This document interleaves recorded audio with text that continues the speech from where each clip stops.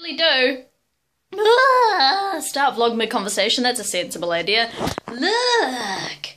I'm all dressed up! Minus a part of my costume. Because across the road live a bunch of film school friends of my friends.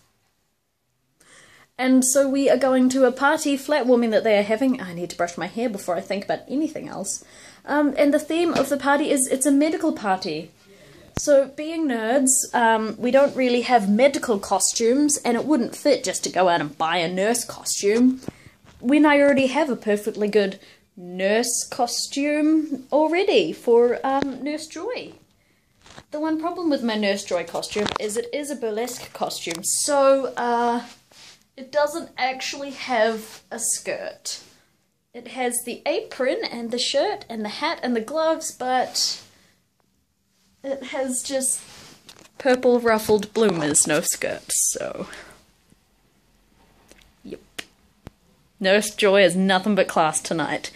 Uh, and of course, Matt, being Matt. Or do we have the rest of his costume hiding in the wardrobe? It is, but you can't see it very well. Matt, being Matt, of course, ugh, will be going to this medical party as the doctor. So the doctor and Nurse Joy instead of actual medical practitioners. And I mean, isn't that the sort of thing you would want to see if you went to a medical practice? You'd want to see Nurse Joy and the doctor. That's what I would want to see. Yup. Uh, today was a fun day of more rehearsals for 30 Minute Star Wars and buying things. I bought a dress, a pretty, pretty dress that's all like 50s and swooshy and it does the big whoo! And I cannot wait to wear it to VidProm. So here's hoping I have a date to VidProm. If not, I'll be going Lady Stag. I'm so orange. Wow. This lighting is just the best ever, and I keep looking at myself in the screen instead of at the camera. Um, I don't think I have anything else to tell you for today.